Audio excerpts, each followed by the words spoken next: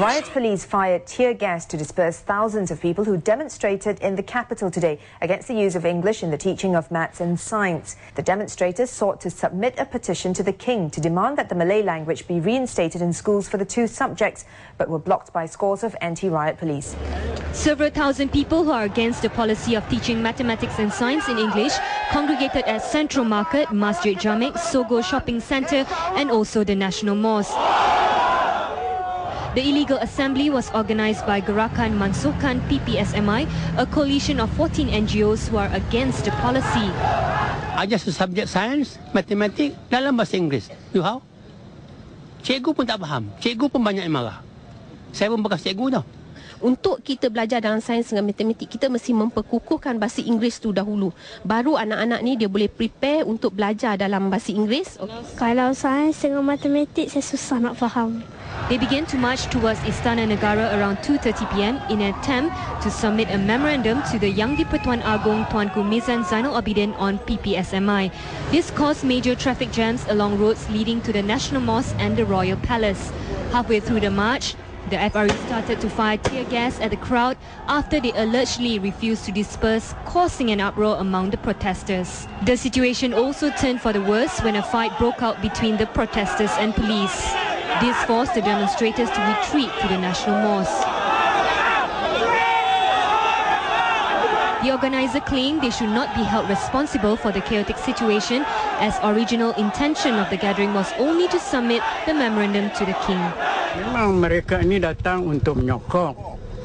Tapi kita sendiri memang ada grup yang yang 6-7 orang itu untuk datang di sini menyampaikan dan kami tak boleh buat apa-apa sebab kami juga memerlukan orang untuk menyokong.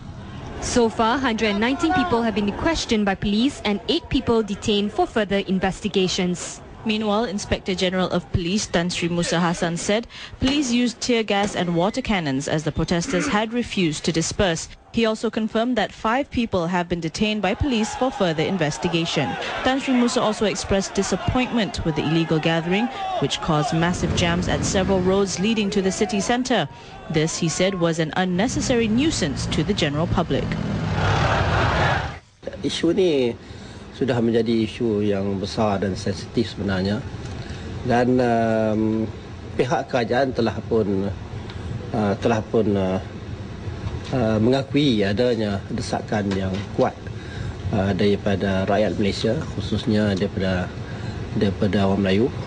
Dan uh, dan juga telah pun uh, sedang memberi perhatian. Ialah orang ramai uh, berhenti seketika uh, melihat keadaan sebenar yang berlaku di negara kita dan tanya siapa yang sebenarnya menimbulkan isu-isu ini saya apa muslihat dan macam mereka saya berkempen berkempen untuk uh, mem memberi kemenangan kepada Barisan Nasional kepada UMNO di seluruh negara kerana sebenarnya kita mahu melihat ke hadapan.